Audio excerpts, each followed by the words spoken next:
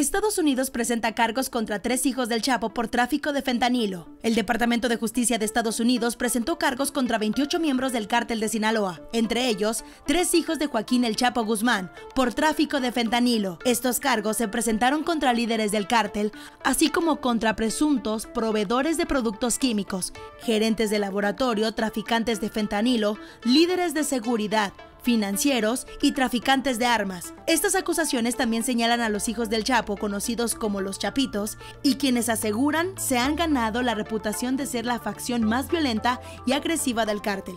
Entre los señalamientos también se incluye a ciudadanos chinos y guatemaltecos, a quienes se acusa de suministrar precursores químicos que se utilizan para fabricar fentanilo.